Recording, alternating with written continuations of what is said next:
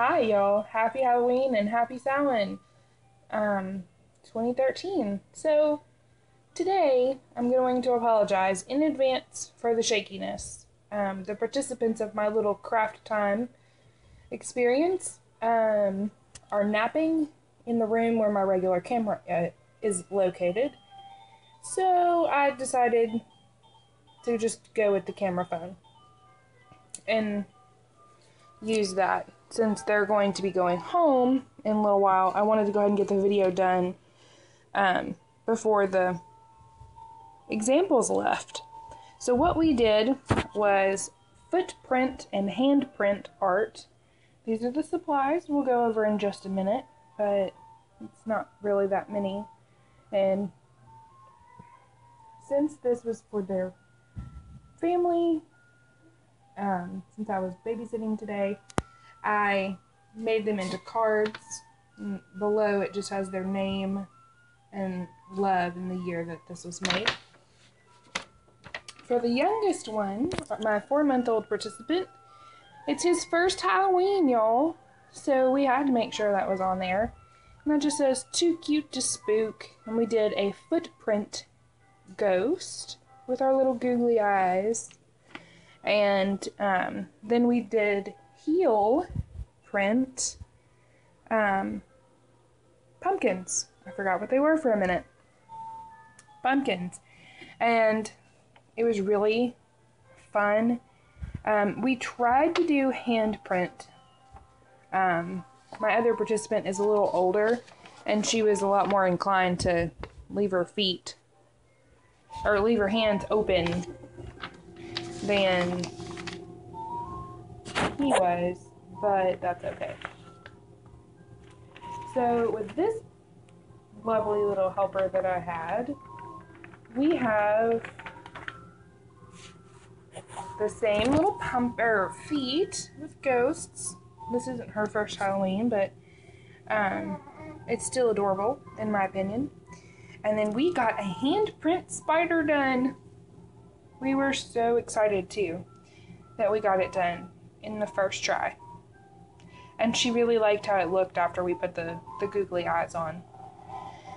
And then we also did the heel pumpkins.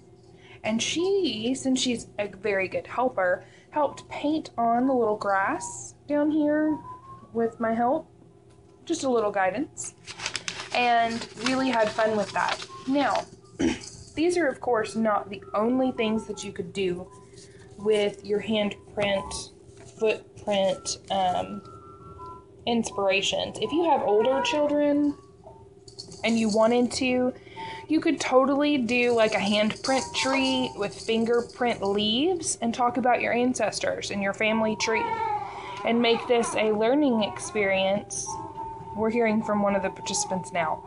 I think it was a hit, y'all. Um, but we had a, a good time with it, um, just being little kids. So I know that you could definitely turn it in to a learning experience if you were doing this with bigger kids. You know, tell them the story of your family and talk about how this is the time to honor your ancestors. Um, if that's something that you and your family like to do at this time of the year.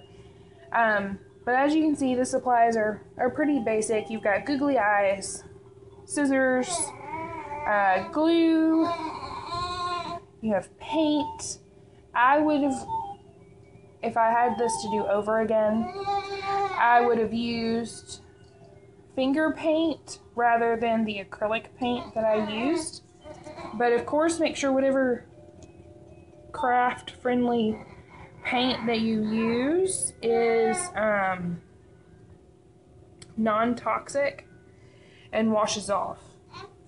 Um, you you do not want anything toxic used on a children's craft because of obvious reasons that we don't have to go into. And since the front of this did not say non toxic, I actually checked the back. Don't know if y'all can see that.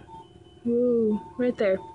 Yeah, see, it says water based, um, non-toxic, and it tells you, you know, you can clean with wet, so clean while wet with soap and water.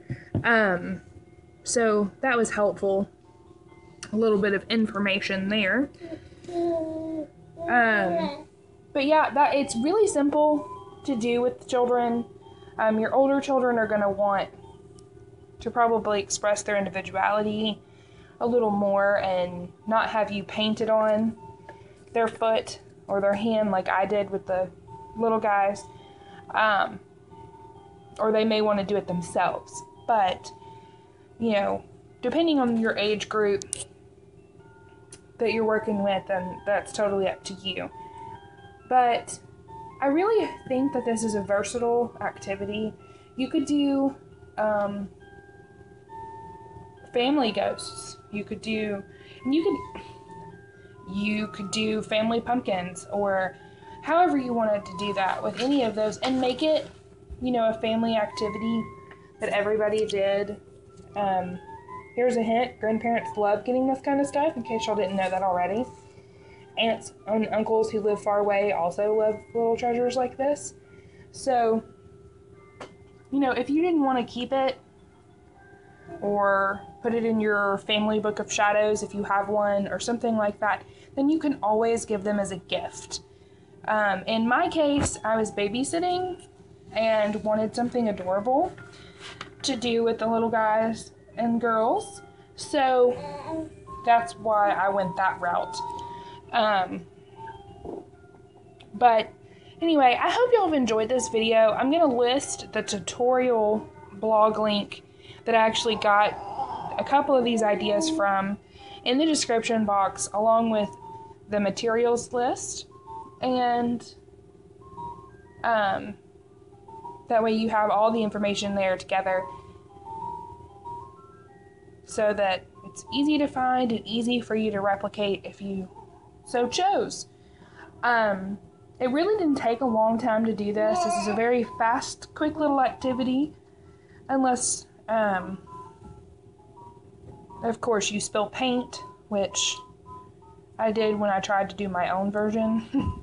that took a little longer. But anyway, if if you've got an extra set of hands or you've kind of already worked out how you want to do this in your head, you should be good to go. Um, drying time included, I think this took about two hours, and that was with an hour worth of drying time for the paint and about 30 minutes for the glue just to make sure everything was dry. Um, so, yeah, about 15 minutes per child, and that was with little ones. So, you may be able to get done even faster than I did. Anyway, I hope y'all enjoyed this video. I hope that you all have a wonderful and memory packed candy enjoyed trick or treating, however you celebrate. Um, happy Halloween, happy Samhain, and I hope you really enjoyed this turn of the Wheel of the Year. Everybody, I hope you have a wonderful day. Thank you very much for watching, and blessed be.